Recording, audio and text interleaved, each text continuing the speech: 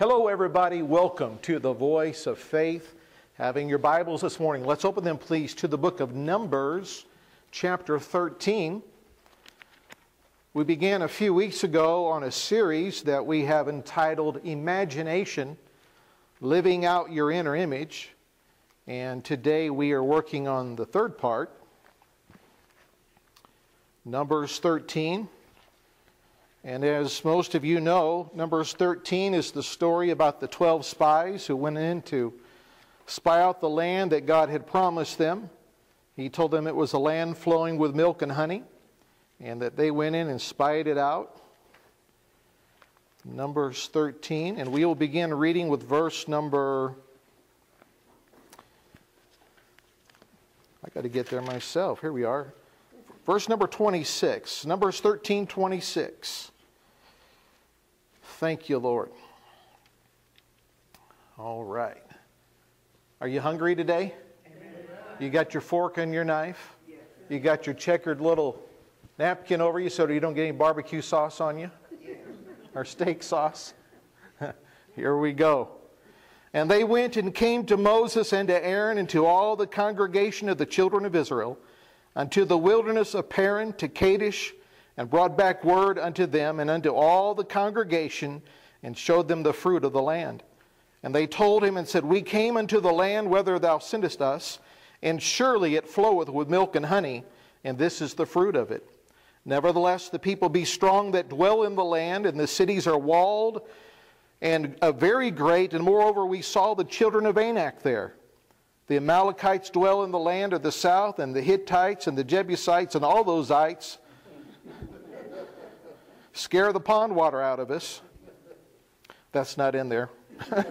I, that's not one of those newer, newly inspired translations or nearly inspired translations. Verse 30 And Caleb stilled the people before Moses and said, Let us go up at once and possess it, for we are well able to overcome it. I'm looking forward to talking to this man when I get to heaven. I want to sit down and just get a play by play on this and talk to him. It's going to be so interesting to talk to Caleb. But the men went up with him, but the men that went up with him said, We be not able to go up against the people, for they are stronger than we.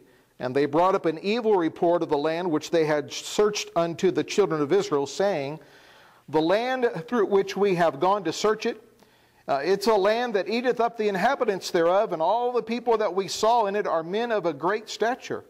And there we saw the giants, the sons of Anak, which come of the giants, and we were in our own sight as grasshoppers, and so we were in their sight. So many today are like the ten spies. They have faith to come out, but they don't have faith to enter in. And so many Christians are there we're, we're rejoicing. We are excited and happy that God has brought us out. We're born again. We're not in the world. We're not on our way to hell. And those are some awesome things to be thankful for. But so many Christians are in a holding pattern. They're right there where they believe God that they can come out, but they don't have faith to enter in. And it, it, burdens me as a pastor. I want God to use me and to use this series to help people to enter in into what God has for them. Amen? yeah. Oh man, there goes uh, four, four thoughts through my mind. I got to rein myself in. We got a lot to look at today. They failed to enter in because of their imagination. They had the wrong inner image. They said, We were as grasshoppers in our own sight, and we were in the sight of the giants. I seriously doubt that. I don't think any of those men went to a giant and said, Excuse me, sir, we're taking a survey. What do you think about us? How do you see us? but because they saw themselves with a grasshopper mentality, they said, if we see ourselves that way, surely others see us that way. There's no way we can take this city. There's no way we can do this. We're just grasshoppers. So they had the wrong imagination, they had the wrong inner image.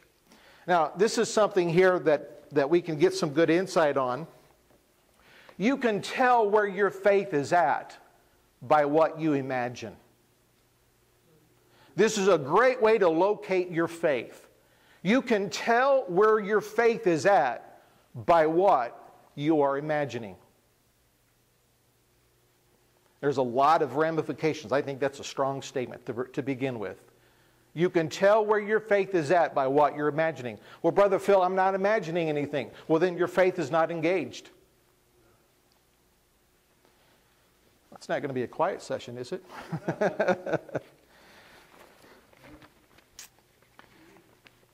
the Lord gave this statement to me this week. I was thinking about the, the spies going in and looking at Numbers 13. And the Spirit of the Lord spoke this to me. He said, They failed to enter in because they didn't see it the way God said it. They didn't enter in because they failed to see it the way God said it. And I had never heard it like that before, and I thought, man, Lord, that's good. Thank you for giving me that nugget. They didn't see it the way He said it. And so we have to stop and pause and ask ourselves, am I seeing it the way He's saying it to me? The promises that God is speaking to me, the words that He's given to me, am I really seeing it the way He's saying it? Am I, do I have the same inner image that God has about me? What He's saying to me, how clear am I seeing it the way He said it? You do not need to picture anything that's contrary to what God is saying to you. In fact, not only, not only that, you should do your best to resist any image, any picture, any imagination that comes to you that's opposite of what God's been speaking to you. That's known as a vain imagination, and those things need to be pulled down. Do not entertain pictures of something that God is saying to you that, that's right the opposite of that. Hold on to those pictures. I've done this once before. I'm going to do it one more time. I really believe it bears repeating that we've got new people here today. And I believe this is impactful. So I want you to see this and I want you to think about these words.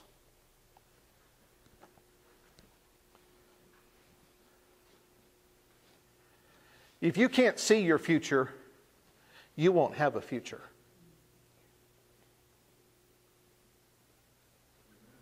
If you can't see your future in God, you're not going to have one.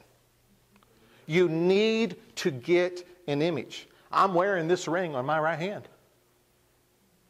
I am. See those mountains in there? Caleb said, Give me my mountain. You see that diamond on the top? The Sun of Righteousness has arisen with healing in his wings.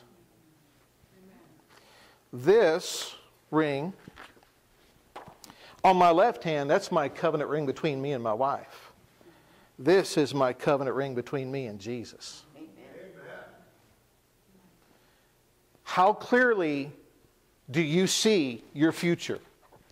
If you can't see a future, you won't have one. This is temporary. This is in, in it's on its way. It's happening.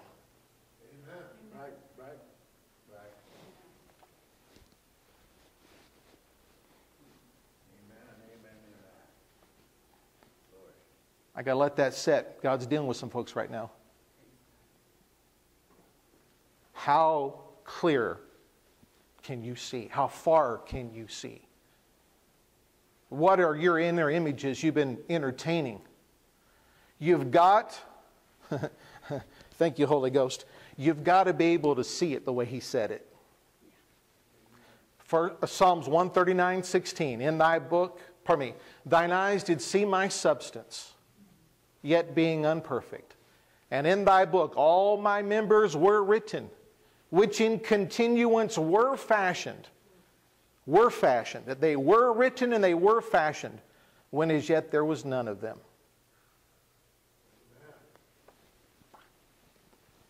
I'm not talking transcendental meditation. I'm not talking sitting in a lotus position and trying to empty your mind. I'm talking about filling your mind and your heart with what God is saying until the image is so real on the inside of you.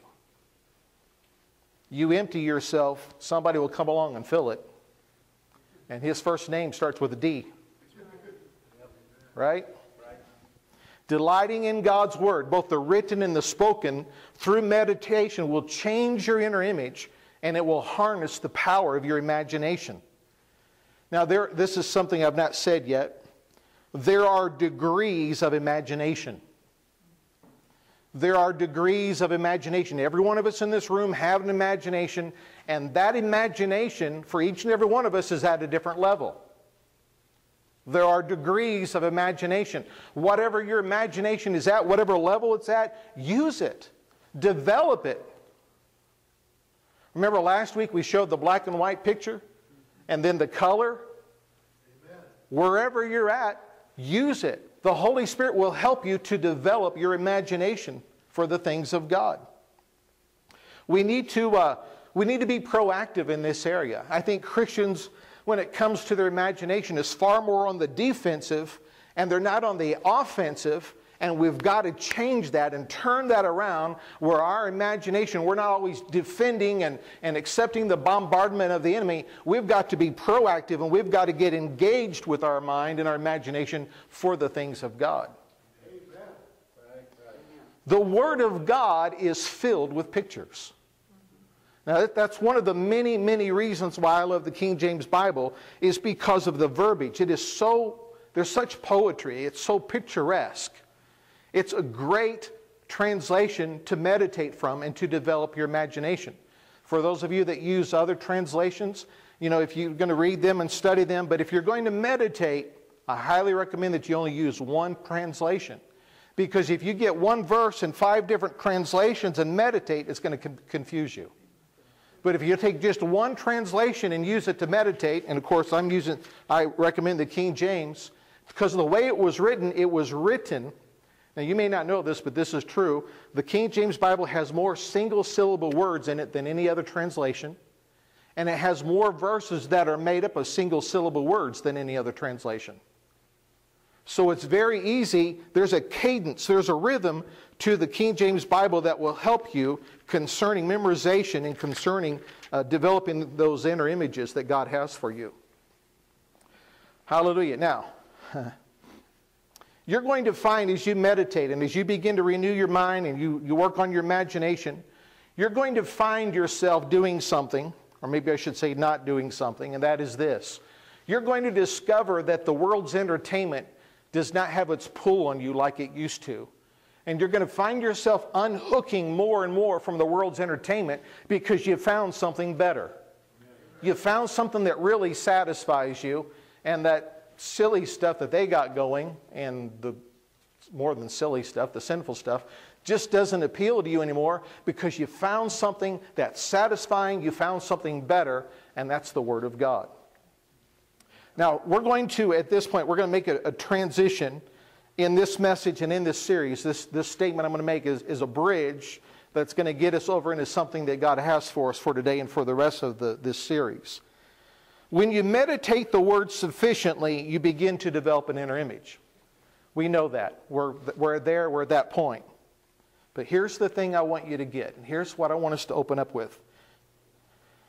The clearer that image becomes, the more it acts like an anchor. And it anchors your soul down. I'm going to say that again. The clearer that image becomes, the more it acts like an anchor. And it anchors your soul down. Now, we all know that the soul is the, is the battleground. It's the mind, the will, and emotions. That's, that's the area that the devil hits. And so we need something to anchor us down to give us stability. I'm going to give it to you in one, one sentence. I'm going to ask you to write this down. We're going to say it three times because this is really the way, a good way of saying this. The image of the Scripture settles you down in the reality of it. Say it after me, please. The image of the Scripture, of the scripture settles you down, settles you down in the reality of it. The image of the Scripture, settles you down in the reality of it. That answers so many questions right there. That, that so helps us understand why there's people, I, I, I call it roller coaster Christianity. They're up, up, up, up, then they're down, down, down. One day they're on fire for Jesus, and by Wednesday they need to go to the altar and pray because they're backslid. I mean, it's just this massive up and down, highs and lows, and there's no stability. Why is that? They go to church, they, they give money in the plate, they love Jesus, there's no doubt about that, but there's such highs and lows, and they're so moved by how they feel. They're moved by the circumstances. Where's the stability? It's because they can't see what God is saying. Amen. They're not seeing it. And that image, the clearer it becomes, the more it will anchor you down. Read with me, please, in the book of Hebrews, chapter 6. The image of the scripture settles you down in the reality of it. Hebrews 6.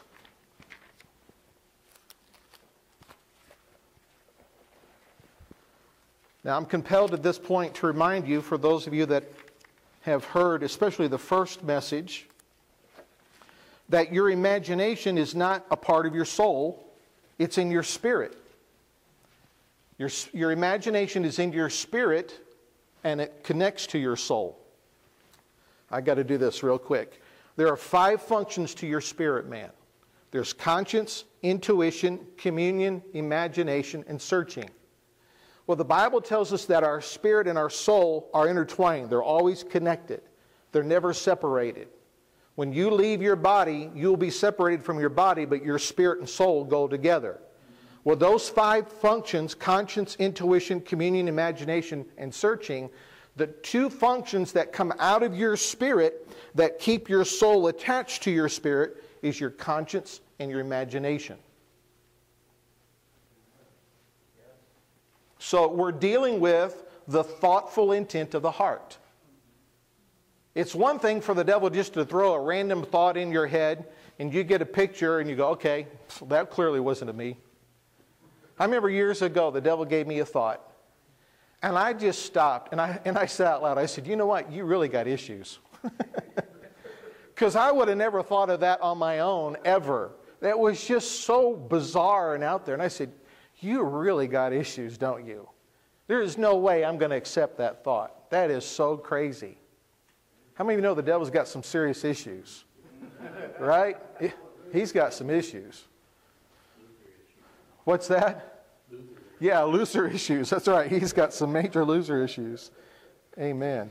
In Hebrews chapter 6, verse 11, and we desire that every one of you do show the same diligence to the full assurance of hope unto the end. Let's do that again. And we desire that every one of you do show the same diligence to the full assurance of hope unto the end, that ye be not slothful, but followers of them who through faith and patience inherit the promises. For when God made promise to Abraham, because he could swear by no greater, he sware by himself, saying, Surely, blessing I will bless thee, and multiplying I will multiply thee. And so after he had patiently endured, he obtained the promise. For men verily swear by the greater, and an oath for confirmation is to them an end of all strife. Wherein God, willing more abundantly to show unto the heirs of promise the immutability of his counsel, confirmed it by an oath that by two immutable things in which it was impossible for God to lie, we might have a strong consolation who have fled for refuge to lay hold upon the hope that is set before us, which hope we have as an anchor of the soul, both sure and steadfast, and which entereth into that within the veil. Whether, uh, whether the forerunner is for us entered, even Jesus, made an high priest forever after the order of Melchizedek. Now, I know there was a lot in there. When you meditate in the Word, you develop the spiritual force of hope. When you meditate in the Word of God, you develop the spiritual force of hope. Faith is a spiritual force for your spirit, hope is a spiritual force for your soul, and love is a spiritual force for your body so you don't hit people in the head because they're knuckleheads. Right? Love is to help restrain you. Paul said, The love of God constraineth us. Mm-hmm, I can relate to that. Because there are people you want to do the laying on of hands suddenly. Right? Don't worry, it's all right. We believe in healing. We'll take care of you after we've knocked you out. so, for, so hope works on the soul, it works on the mind, the will, and emotions. And what, what do we say in this series? We said that hope is positive imagination. Hope is the new covenant word for imagination. It's the positive aspect of imagination. Hope is a positive imagination. And along with that is expectation. Would you agree with that? Okay, praise God. Three of you, and the rest of you are processing. This hope, this positive imagination, is set before us, and it's in the Word of God. God has given us a Bible small enough to hold in our hands, great enough to study for a lifetime, and rich enough to satisfy our hearts and our mind forever. Only God can do that. Only God could do that. Don't you love the Holy Bible? Where would we be without it? My, my. Oh, if people would just take the Word of God as serious as they do their problems. Years ago, Lee and I were at uh, Believers Convention in Fort Worth with Kenneth and Gloria, and on Saturday we went to, to Gloria Copeland's Healing School, and so then we went forward for prayer. And I'm in line, there's a lady next to me, and then LeAnn's on my right, and so the prayer minister is coming down, and so he comes up to the lady next to me, and, and I'm endeavoring to concentrate on the Lord, and I hear her say to the man, This is serious. You understand me? And she was an older lady, and he was a younger man. She said, You understand me, young man? This is serious. If people would take the Word of God just as serious as they do their problems, nothing is serious in the light of the power of God. Because everything's fixable, everything's changeable in the power, in the light of God's power. But too many people take their problems serious and they treat the Word of God lightly. Yeah, amen. Hope gives us full assurance, but hope has to be laid hold of.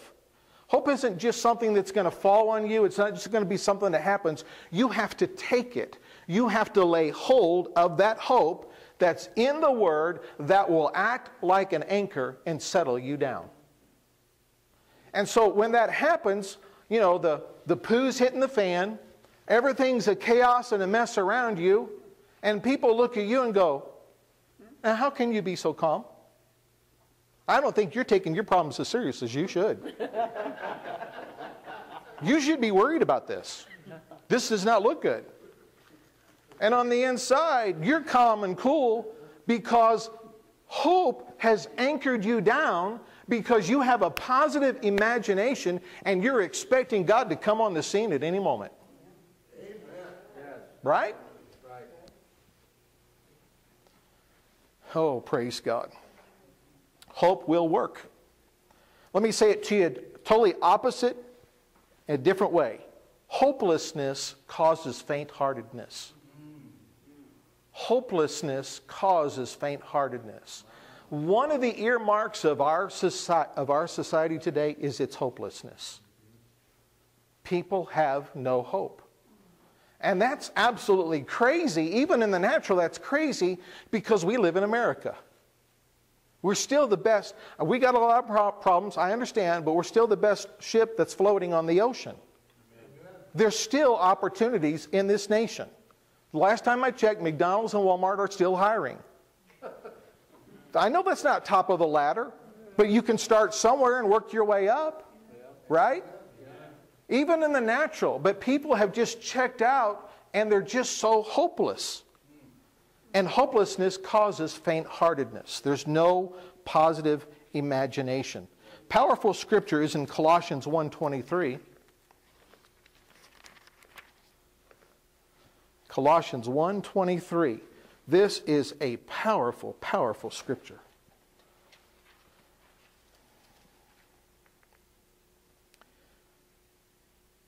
If ye continue in the faith, grounded and settled, and be not moved away from the hope of the gospel. Yeah, I'll let you turn there. We'll read it again. This is so powerful and so enlightening. Colossians 1:23, if ye continue in the faith, grounded and settled, and be not moved away from the hope of the gospel. We're not to be moved away from the hope of the gospel, right? We're not to. And yet so many have. Do not be moved away from the inner image that the word produces. Do not be moved away from the inner image that the Word produces. And yet we have mass amounts of people that have moved away from the hope of the gospel.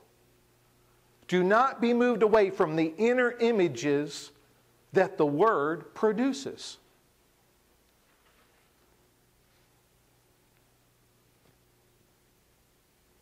One of the biggest indicators, one of the biggest indicators that we have moved away from the hope of the gospel. Hmm. It's not going to be the typical answer you're, you're thinking. Boredom. Boredom.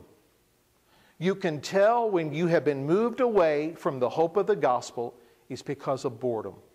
I have never met more people in my life that say, I'm bored out of my gourd. I'm just bored. I'm bored. Why are you bored? What is up with that? Hope is the antidote for boredom. Amen. Hope is the antidote for boredom. Now, I, I, got some things I need to say today. So I, I want you to hear the heart of a pastor. I am not here to knock anybody down. I'm not here to slam anybody. That, that is not my intention. That's not my spirit. And I want you to hear my heart. I want you to hear the, the tone of my voice today because I got some strong things to say. You know, the Bible says in Ephesians, speaking the truth in love, we grow up. Amen. Speaking truth will not cause you to grow up. Speaking truth in love will cause you to grow up. But, but, true, but love without truth is not love. It's not just truth that causes you to grow up, it's love and truth, speaking the truth in love, but love without truth isn't love either. So I got some things to say and, and just hear the heart of the pastor, okay? And besides that, I'm not calling out your name. So if you just look straight ahead, nobody will know. Right? And then you can go home, fall across your bed, and go, oh God, that was me. but you're, you're cool if you just look straight ahead. Let me tell you something. Boredom is a big indicator that we have no hope, that we've left it. And boredom reveals that our priorities are out of order. If you're bored, your priorities are out of order. I can't tell you when was the last time I was bored. I'm too busy to be bored. I got a full life. I love my wife. I love my family. I love Jesus. I got things to do. I've got a call of God in my life. I've got a vision. As you can tell, I've got a vision. There's no time to be bored. And so, if you're bored, you need to stop and assess your priorities. If I just begin to feel the least little bit of boredom, I stop and go, okay, what am I doing? Because my priorities aren't right. No Christian should ever experience boredom. Thank you. Somebody give that man $5? You shouldn't. If we are properly engaging our imagination and feeding the Word and meditating on the Word, we'll never experience boredom and our priorities will be straight. Now, here's another one. I need a pulpit because this isn't big enough to hide behind. If your life is a mess, it's because you conceived it in your imagination. If your life is a mess, it's because you conceived it in your imagination. And, and we live in the society of the blame game. It, I'm the victim. You don't understand. It's my circumstances. It's my circumstances. If your life is a mess, it's because you have conceived it in your imagination. Your imagination is like soil. It'll produce whatever you plant in it. My wife has a garden. Can you imagine her going to that garden and she puts some tomato seeds in there and the ground spits it back out and go, oh no. Mm-mm. You planted tomatoes here for the last three years, bring us some cucumbers. We're done with this tomato business. Soil will produce whatever you put in it. Your imagination will produce whatever you put in it. You have the choice, right? Hmm. Unrestrained thoughts are building blocks to strongholds. Unrestrained thoughts are building blocks to strongholds. You know, this, this wall, it was built one brick at a time. Every brick, unrestrained thought, unrestrained thought, unrestrained thought, unrestrained thought.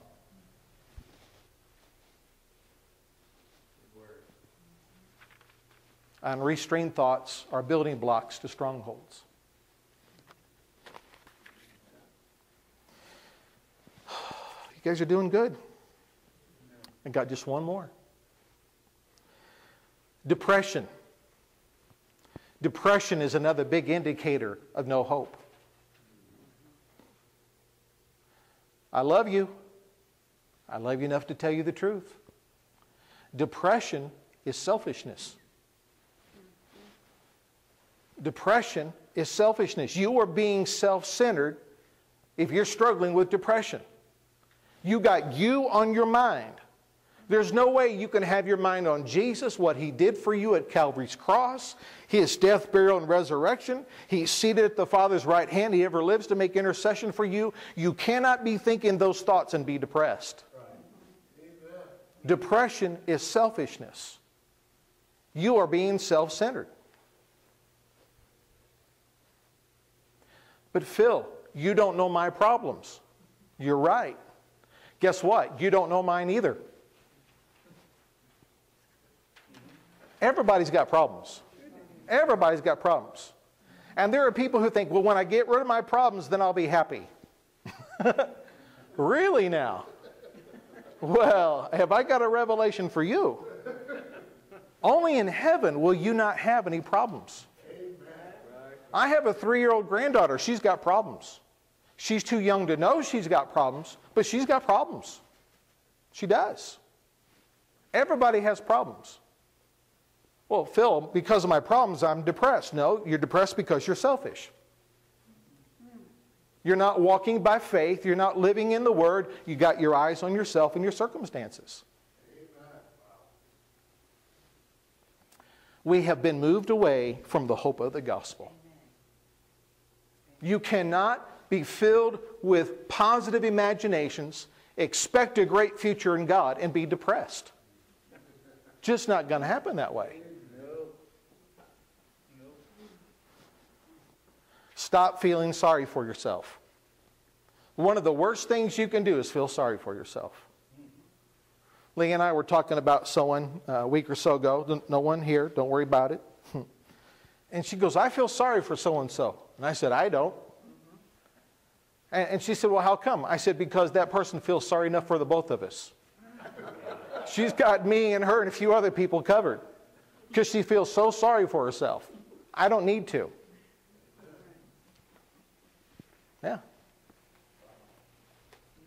One of the worst things you can do is feel sorry for yourself. But Phil, my situation, what about mine? Didn't know you have any. That's my point.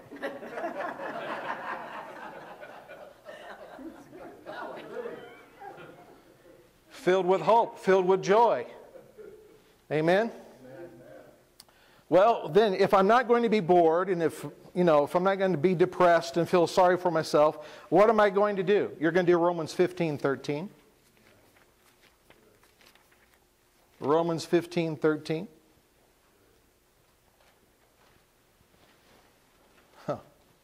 Oh, dear Lord, I love this verse of Scripture. Romans 15 13.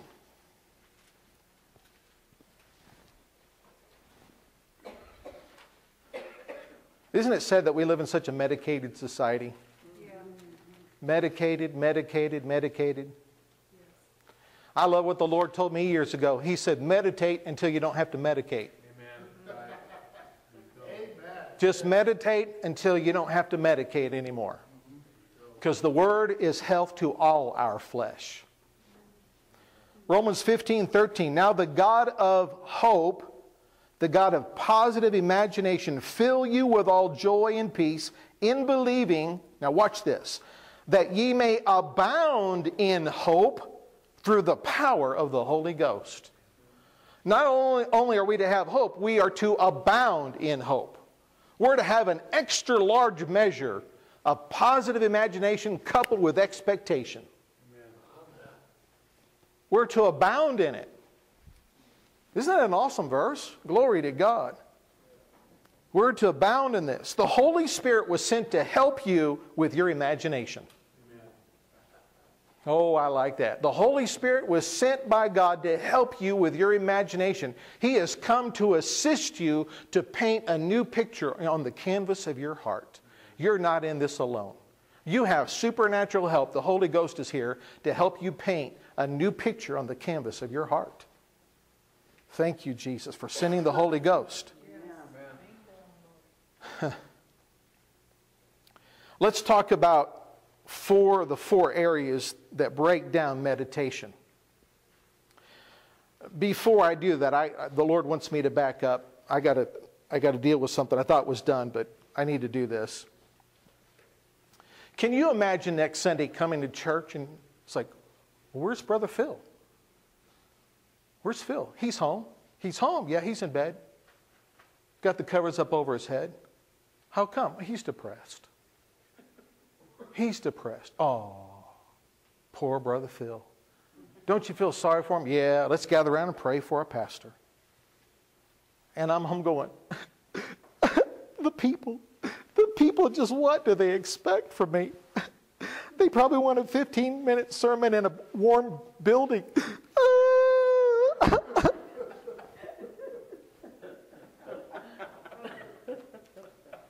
we live in a generation of whiny babies. Just whiny babies. Get your thumb out and grow up. What kind of pastor is that? That's known as pastor pathetic. Just Pastor Pathetic. What church you go to? Pastor Pathetic's church. he suffers depression, always feeling sorry for himself. The crowd was low, so he was low. We got to get a lot of people in so he can be up next week. You know, he just really suffers with selfishness because it's all about him.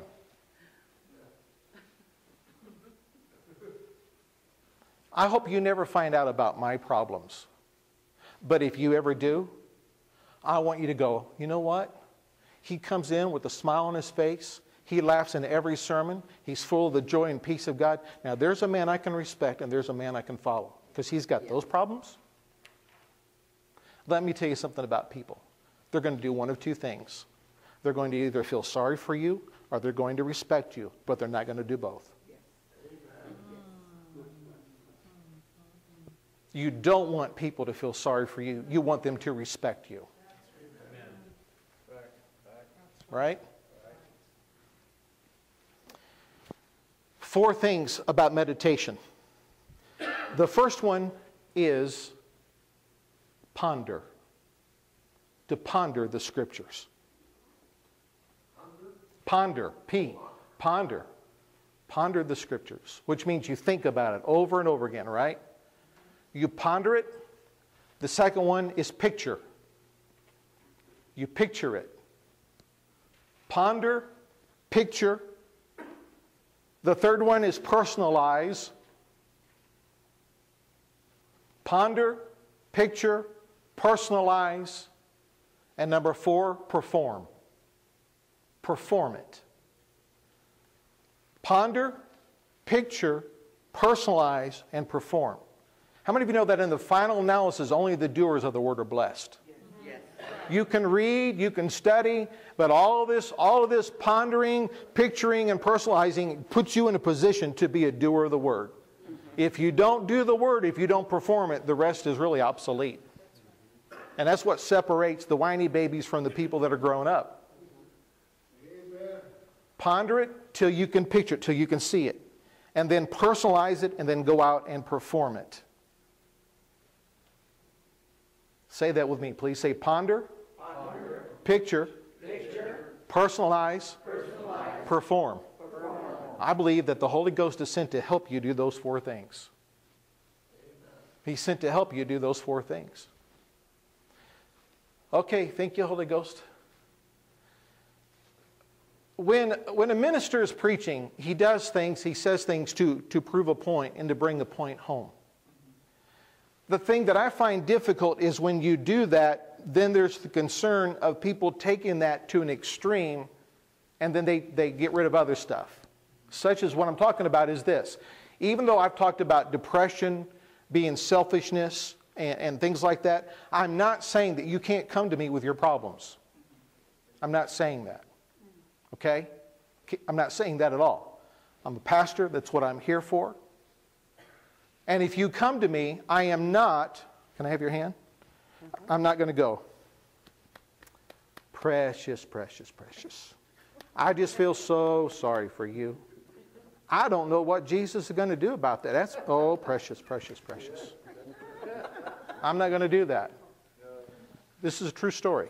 I went to a lady one time and told her my problem. She grabbed, grabbed my hand and she went, Precious, precious. And this is what she said. She goes, It'll probably get worse before it gets better.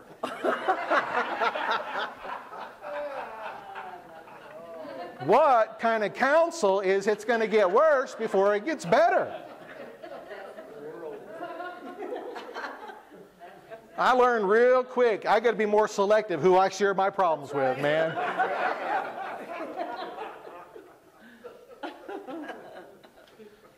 you come to me with your problem, I'm going to grab your hand and I'm going to say, Now the Word of God says. Amen.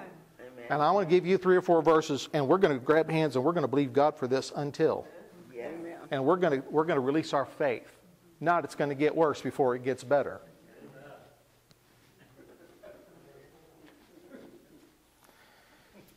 You're all going to go home going, precious, precious, precious, aren't you?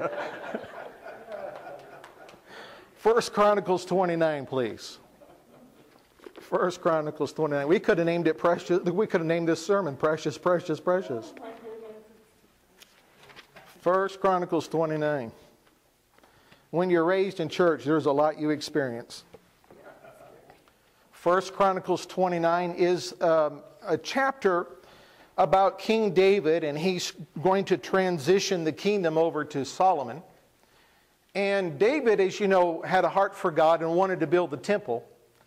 And so the Lord spoke to him and said, David, you can't build my temple. You've been a man of war, been a man of bloodshed. But your, your son Solomon is going to build my temple. But what the Lord did for, for David was this, and David, David tells you that the Holy Ghost came upon him and in writing gave him the, the picture of the temple. So the blueprint came from God to David, and David handed the blueprints over to his son Solomon. But the other thing that David did was that he began to save up his money and he brought an offering to the Lord to help out in, in the funding of the building project. And if you study, actually, the, the offering was over a billion dollars of what David brought out of his own personal bank account. Okay? And others brought. And it was just magnificent. And so this is a, a really a, a great chapter. And then David starts to pray a prayer. And he's praying it, and we're going to pick up on verse 16. 1 Chronicles 29 16. O Lord our God, all this store that we have prepared to build thee an house for thine holy name cometh of thine hand, and all is thine own.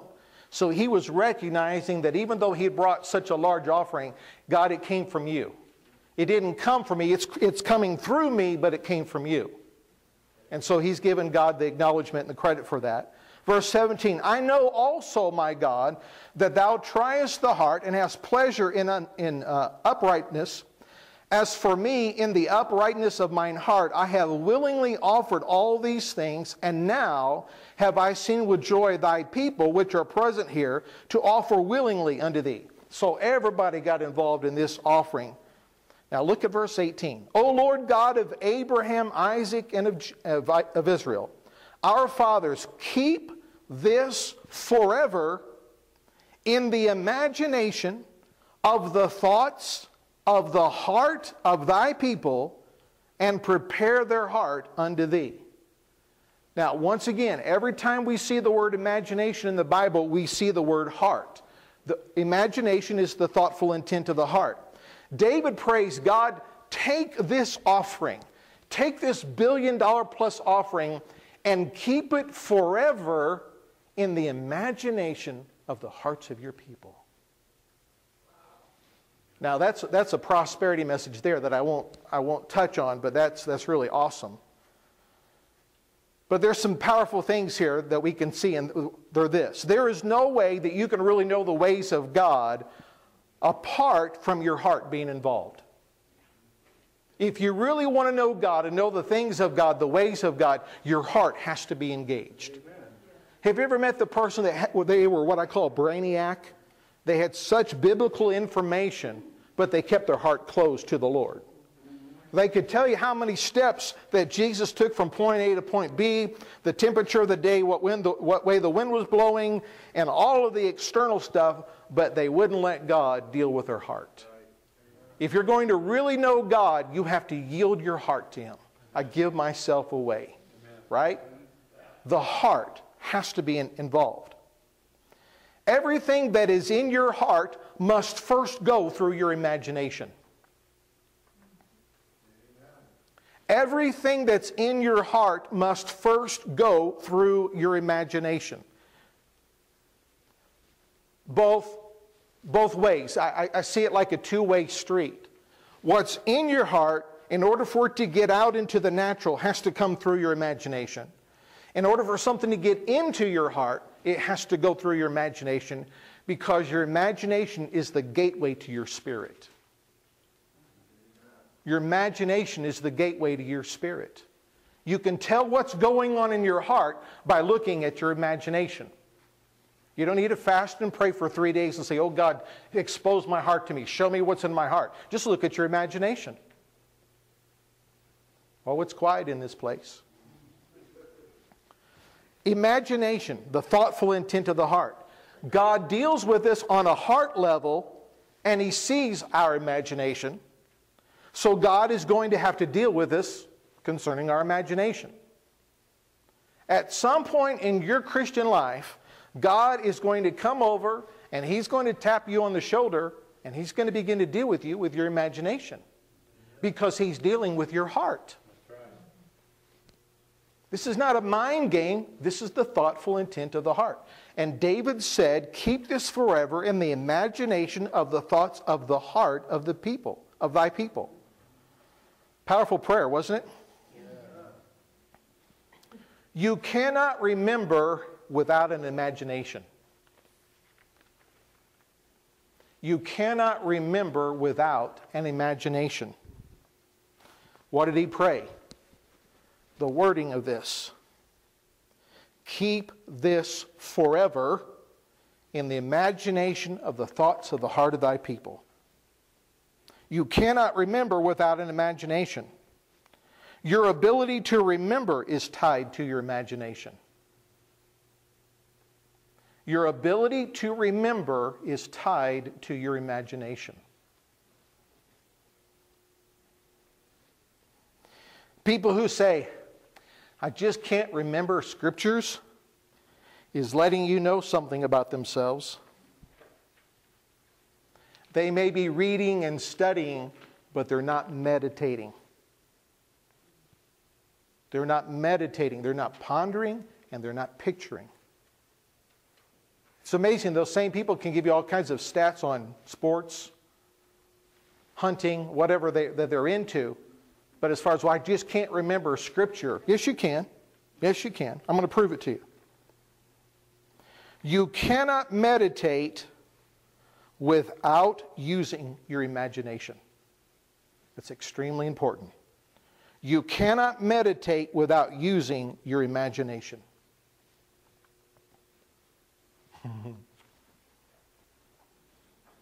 How many here, by a show of hands, you know how to worry? See anybody here know how to worry? Come on. You know how to worry? If you know how to worry, you know how to meditate. Because that's what worry is. Worry is meditation, but it's meditating on the lies of the enemy, not the truth of God's word. And when you're worrying, think about that. When you worry, what do you do? You loop it. You loop it. You go over the same thing again and again and again. And so what are you? You're pondering. And so you keep doing it until what? You can now picture it. You can see it happening. And when it gets to that point and you're worrying and you keep looping it, what's going to happen? It's going to affect your emotions. It's going to affect the way you feel. As opposed to being anchored with the truth of God's Word, you're now sporadic and erratic and you're full of anxiety and worry and fear and you're wringing your hands. You're doing the exact same thing, you're just doing it in the wrong and opposite direction. So if you know how to worry, you know how to meditate. And to meditate in the Word, if you're not engaging your imagination, you're not meditating. You're reading and studying, you're listening to good CDs, you're taking down notes, but you've got to learn to ponder, picture, personalize, and perform. You've got to loop it over and over again until you can see it, till it anchors you down. I'll take an amen right there. Amen. Thank you. So, your ability to remember is tied to your imagination. so, there's a, a, husband and wife, and they're driving down the road. And the, the, the, rec- the radio's playing, and all of a sudden there comes on a song. And he goes, because that was the song that was playing when he had his first serious romantic kiss. And he's, she looks over and goes, Baby? What's wrong? Is there something in your throat? Let's put on some praise and worship. Memory, imagination, and your emotions. Right?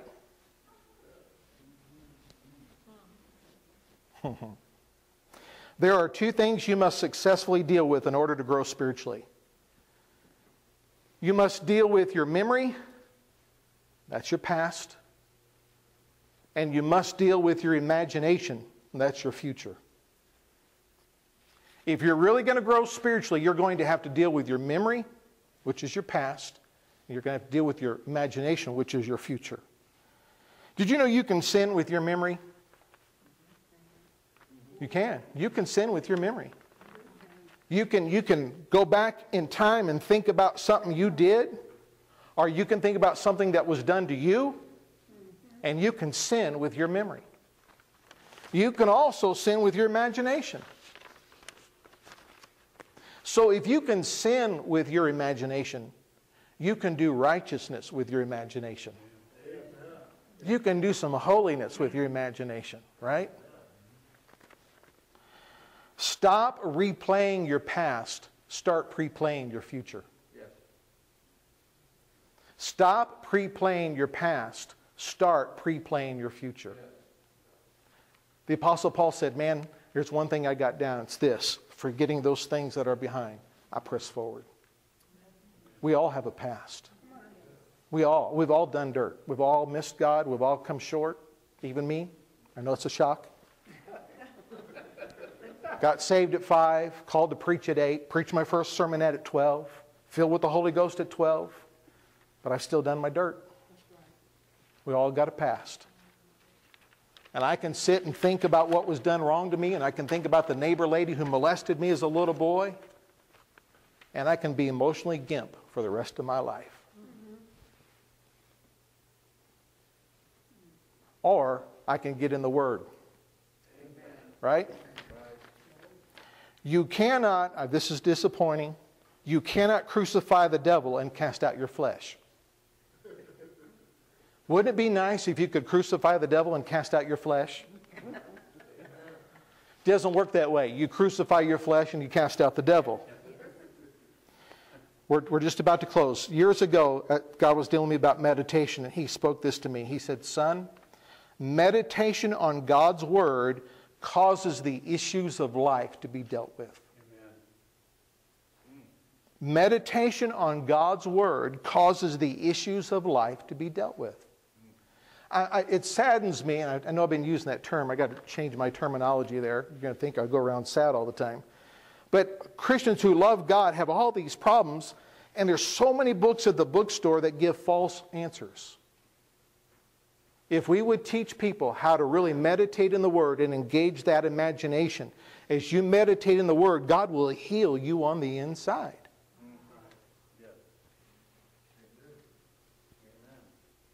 Our last nugget. What deliverance takes out, discipline keeps out.